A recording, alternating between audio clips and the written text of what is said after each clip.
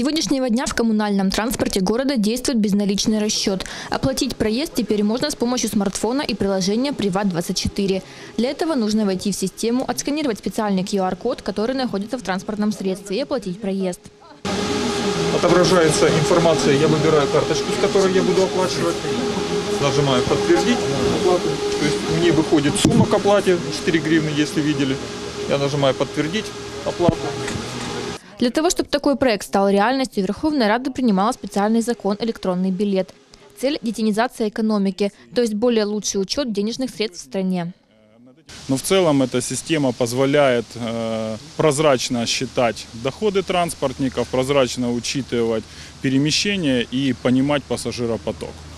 Однако такая система будет действовать только в троллейбусах и трамваях. Основная масса пассажиров здесь пенсионеры, и они вряд ли активно пользуются смартфонами. В то время как более рационально было бы внедрить ее в маршрутках, где зачастую даже не дают билетов и невозможно отследить доходы перевозчиков. Сейчас э, мы рассматриваем только коммунальный транспорт, но впоследствии, я думаю, будем разговаривать с частным бизнесом о, тоже о этом способе оплаты. Интересно, что представитель банка, разработавшего инновацию для нашего транспорта, нашел эту идею в Китае. Вернувшись в Украину, решил внедрить ее здесь. В Китае QR-коды применяются уже абсолютно везде. То есть там вы приходите на рынок, вот э, технология оплаты, вот как здесь, по QR-коду. Вы приходите на рынок, там, не знаю, кофе попить. Вы у продавца сканировали код, оплатили ему деньги.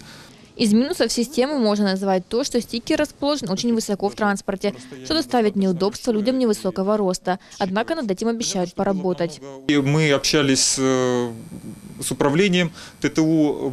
Меры будут приняты в том плане, что э, дополнительные стикера разместятся между окон вот, почему, почему на высоте, почему не стекла? Это принципиальное решение, чтобы стекла были чистыми. На стекла ничего не клеить.